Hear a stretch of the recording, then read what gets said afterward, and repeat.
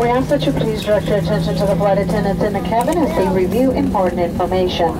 Flight regulations require compliance with all lighted signs, placards, and crew member instructions.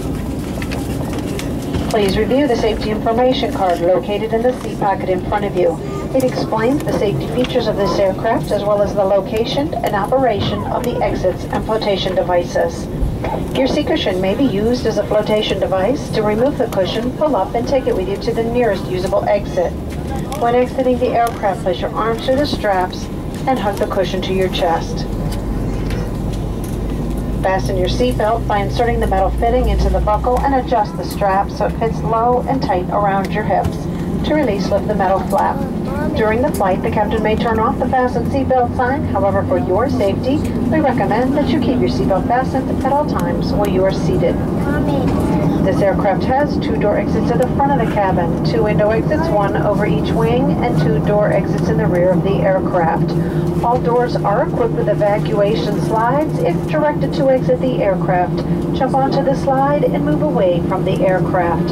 All exits are clearly marked with exit signs and instructions for operation. If there is a loss of electrical power, exit path lighting will illuminate on or near the floor and guide you to red lights indicating an exit. Take a moment to locate the exit nearest you, keeping in mind that the closest usable exit may be located behind you. If needed, oxygen masks will drop from overhead compartments. To start the flow of oxygen, reach up and pull the mask toward you, fully extending the plastic tubing.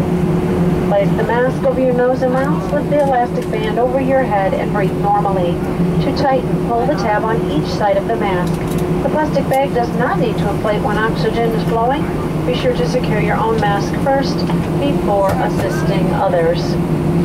A life vest is located under or between the seats. To use the vest, remove it from its compartment. If equipped with an elastic harness, remove that harness before opening the pouch. To open the pouch, tear open the plastic package, remove the vest, and slip it over your head.